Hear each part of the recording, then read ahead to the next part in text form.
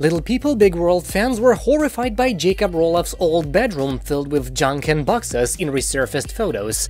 Jacob, who may be taking over his father Matt's farm, concerned fans as they rediscovered an old scene from the show. Fans flocked to Reddit to share the resurfaced photos of the Little People star's messy old room. Including photos of his living space cluttered with clothes, boxes and items, the user captioned the thread, My god, Jacob's old room is a nightmare. Another user commented, I honestly couldn't live with that chaos around me, how stressful would it be? A third fan remarked, and I thought I was messy. A fourth chimed in and posted, uh, can't blame the kid when the parents did nothing to correct the behavior and did it themselves.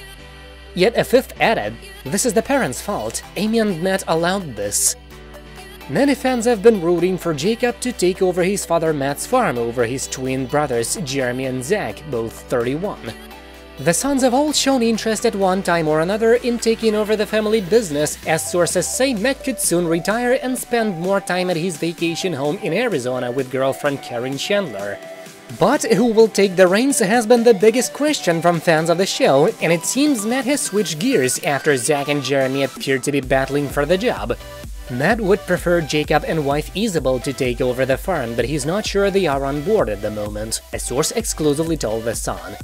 The insider continued, He is the youngest son, but Matt knows Jacob has potential. They are on the farm a lot, and Matt thinks this is a good way to teach him a lot of things he needs to learn.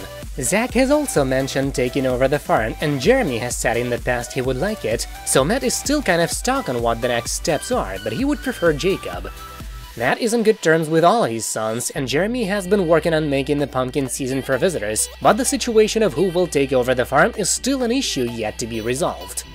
Jeremy and his wife Audrey were very keen to take over, but he recently obtained his student pilot license, The Sun revealed.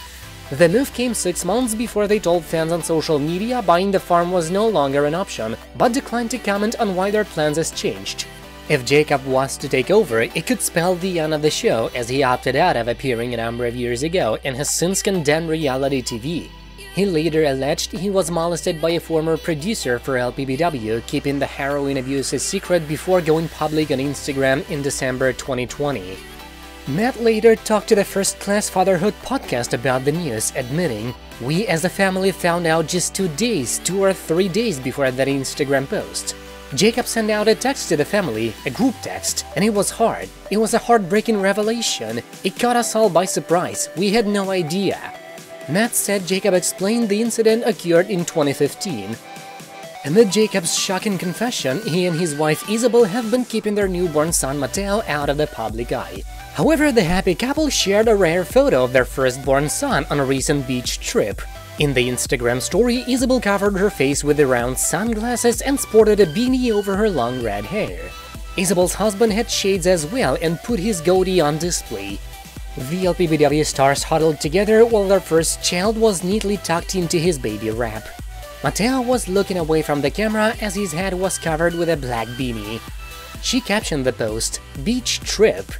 In the next story, Isabel filmed the sand while holding on to Mateo. The shadows of the mother-son duo appeared on the sand's surface. Isabel and Jacob welcomed their son Mateo in December 2021. That's it for now, thank you for watching, please subscribe to stay tuned.